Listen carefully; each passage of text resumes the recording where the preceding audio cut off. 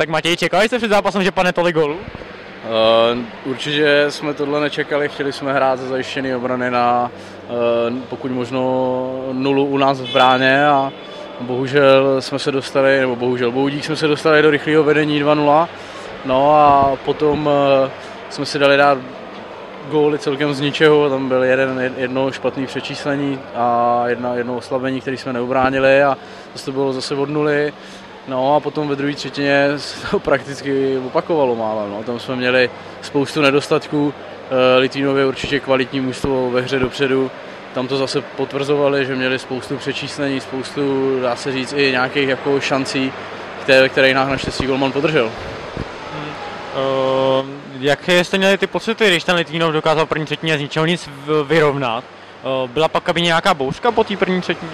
Uh, bouřka nebyla, řekli jsme si, že hrajeme zase od 0-0, že se to dalo čekat prostě, i když, i když je prostě tam, kde je v tabulce, uh, ale prostě soupeř je to silný, má, má na to, aby se dostal někam vejš.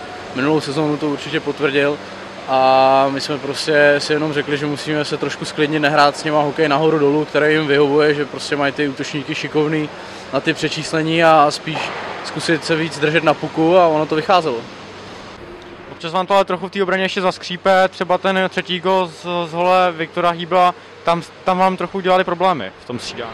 Uh, popravdě já jsem to moc neviděl, protože jsem zrovna seděl na střídačce a kluci stáli u mantinelu, ale uh, je to to, co říkám, že Litvinov prostě má strašně silný útok a dneska to potvrdil, jo, dal zase prostě tři branky, měl tam spoustu dalších šancí, které mohl proměnit, zaplať pámbu pro nás, že nedal a my se na to budeme muset podívat teďka s uh, klidnou hlavou, trošku s odstupem a rozebrat si to, co děláme špatně, protože ta naše hra není taková, jak před tou reprepauzou. Ve třetí třetině to vypadalo aspoň z tribuny, že taktické pokyny plníte na jedničku. Na čem jste se domluvali během té přestávky? Uh, tak tam byl jasný pokyn, prostě hlavně se zase sklidnit, nelítat nahoru dolů za soupeřem a dávat rychle puky od nás, ať hraje trošku soupeř a my budeme mít ty naše breaky, které tam máme na to bruslaře a, a prostě to jsme se snažili plnit, co nejrychleji to dávat od nás a vycházelo to jste ještě zmiňoval vaše rezervy. Mezi rezervy můžeme zařadit ještě ty přeslovky, které vám tolik nejdou. Kde vidíte tu příčinu? I vy třeba chodíte častěji na ty přeslovky, tak můžete říct? Uh, já nevím, určitě máme velký problém s tím se vůbec dostat do pásma, když už se tam dostaneme trošku se nějak usadit. Uh, začíná, vlastně přesilovka začíná bulí. Tu když vyhrajeme, tak sice tam máme nějakou střelu do brány, ale ten puk paradoxně potom třeba nevybojujeme, není to, není to tak dobrý vyhodí nám to a už se tam zase nemůžeme dostat, no, tak, tak musíme se na to taky podívat trošku, co tam dělá špatně a trenéři tam zkoušejí eh, různé kombinace hráčů, aby to sedlo, a, ale zase dáváme třeba góly 5 na 5 nebo dává jiná lena, takže buďme rádi, že aspoň to tam padá takhle a, a sbíráme ty body jinak.